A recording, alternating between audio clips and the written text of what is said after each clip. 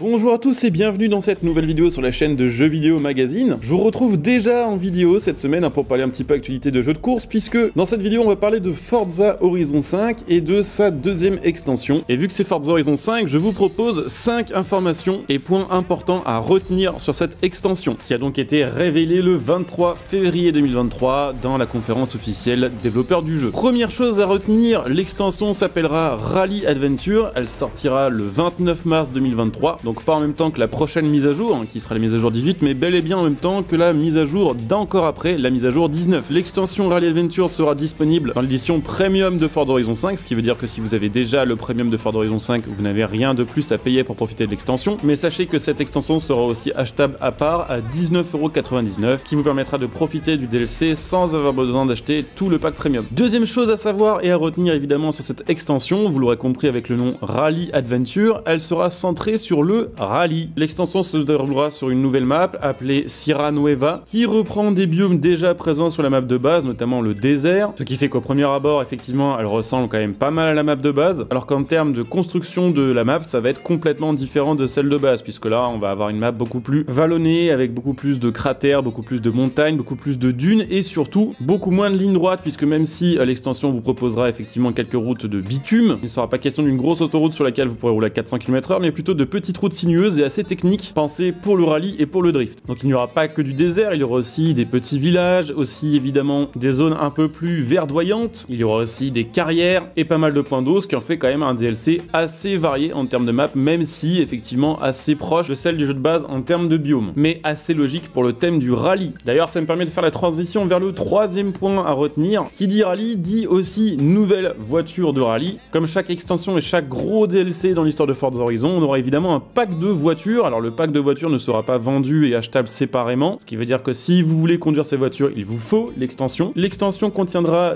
10 nouvelles voitures, centrées évidemment sur le rallye. Donc là, on ne parle pas d'ajout de supercar ou d'hypercar, mais plutôt de buggy, de tout-terrain, de véhicules de rallye raid ou de véhicules de rallye. La plupart des véhicules de cette extension sont issus de marques déjà présentes sur Forza Horizon 5, comme Alumicraft, Polaris, R.J. Anderson et évidemment Ford, avec qui les studios de Forza et Xbox sont de très très bonnes relations, mais il aura également des véhicules de nouvelles marques comme la marque Jimco, avec par exemple le Jimco numéro 240 Fastball qui ressemble à un pick-up Ford mais qui n'en est pas un, ou des véhicules venant d'écuries de sport auto comme euh, l'écurie Kazé Curie justement, avec son Trophy Jeep. Vous l'aurez vu avec les photos que je vous ai mis euh, au montage, que des buggy, que de tout terrain, ce qui va peut-être décevoir certains joueurs qui attendaient quand même quelques véhicules un peu plus classiques, mais ce qui est parfaitement dans le thème de cette extension. On va parler un petit peu maintenant du système de progression et de la conduite rallye. Sachez que sur cette extension, la progression sera différente de celle de l'extension Hot Wheels de Forza Horizon 5 sortie quelques mois plus tôt, dans laquelle on nous proposait une progression par classe de voiture. On commençait en catégorie B, puis on évoluait en A, puis en S1, puis en S2, pour terminer en gros avec les voitures les plus rapides du jeu. Là, on sera libre dès le début de l'extension d'utiliser tous les véhicules que l'on souhaite, même si certains véhicules ou certaines catégories seront suggérés pour telle ou telle épreuve, et que sur certains challenges, il y aura tout de même une forme de restriction, qui veut dire que si vous avez envie de faire toute l'extension avec votre RS200 Hooligan en S2, c'est tout à fait possible. Donc la progression ne sera pas basée sur la catégorie de voiture, mais sur un système d'écuries avec des défis à compléter. Il y aura trois écuries qui vous proposeront des différents défis, différentes courses et différentes épreuves. Il y aura une première écurie Horizon Raptors qui sera centrée sur les rallyes sur terre, la deuxième écurie Apex Predators qui sera centrée sur le rallye sur route, et la troisième et dernière, les Great Reapers, qui sera centrée sur les rallyes de nuit, puisque oui, effectivement, comme sur la map principale, il y aura un cycle jour-nuit, avec d'ailleurs la nuit en durée étendue sur le DLC pour profiter du nouveau festival hein, en format bivouac et du drone show de nuit. Donc trois écuries qui vous proposeront des défis à compléter et euh, selon des défis complétés, vous aurez tout simplement un certain nombre de points de réputation de débloquer dans chaque écurie. Au bout d'un certain nombre de points, vous passerez au rang supérieur dans l'écurie et une fois les rangs maximum atteints, chaque écurie vous proposera un défi en 1v1 contre son leader. Une fois les leaders battus dans chaque écurie, vous aurez accès à la course finale du jeu, le Goliath, qui sera une course longue et technique et qui sera tout simplement un peu le point culminant de ce DLC. Sachez que parmi les récompenses dans ces différents défis et euh, ces différentes écuries, vous pourrez donc débloquer les voitures évoquées précédemment, mais également des nouvelles tenues, cosmétiques et évidemment euh, certaines distinctions seront liées également à ces défis. Donc si vous voulez le 100% de distinction sur Forza Horizon 5, il faudra probablement compléter 100% des défis, les trois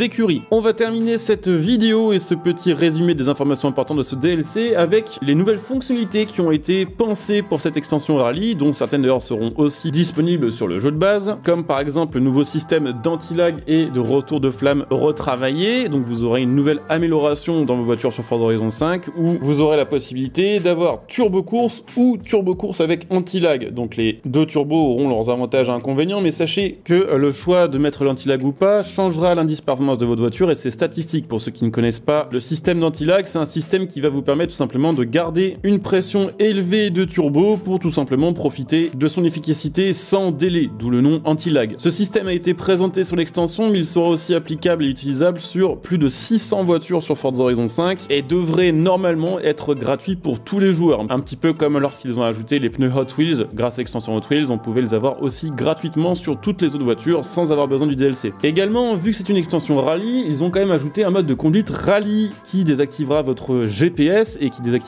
les trajectoires au sol vous indiquant euh, le prochain virage. Le but de ce mode rallye, c'est de s'orienter, de se diriger grâce aux instructions typées rallye qui s'afficheront à votre écran, qui défileront pour vous indiquer tout simplement la prochaine direction du prochain virage, ainsi que son angle, ça vous indiquera aussi les sauts ou les éventuels prochains obstacles que vous croiserez sur votre piste, comme si vous conduisiez avec un copilote. Alors de ce que j'ai vu de ce que j'ai entendu, il n'y aura pas de doublage de copilote malheureusement, mais on aura au moins ce mode rallye qui, euh, cumulé à l'ATH enlevé, vous permettra quand même de vous immerger un peu plus dans cet univers rallye de Forza Horizon 5. Sachez que aussi, avec ce DLC arrivera le système de launch control, qui était déjà présent, on va dire, de manière non officielle sur le jeu, et qui vous permet tout simplement de verrouiller votre voiture au bon régime moteur pour tout simplement profiter d'une accélération optimisée euh, lors d'un départ arrêté. Donc voilà, on a fait le tour des informations les plus importantes sur cette extension. Je pense qu'après avoir vu cette vidéo, vous devriez être au courant normalement des choses les plus importantes et on va dire cruciales à propos de ce DLC.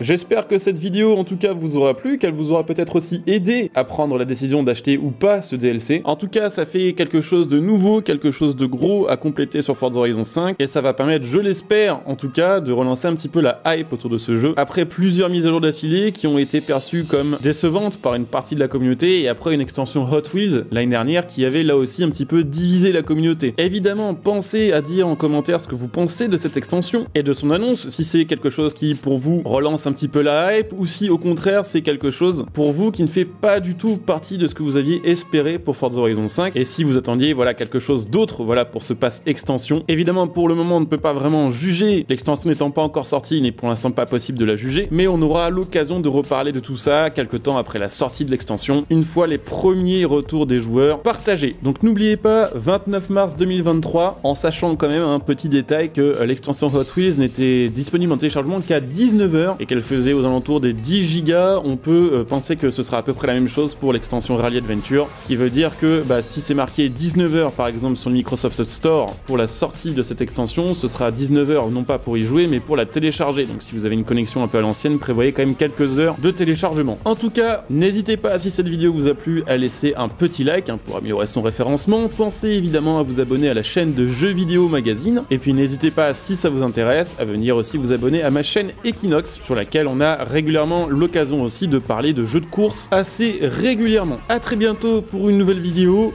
Bon jeu à tous, ciao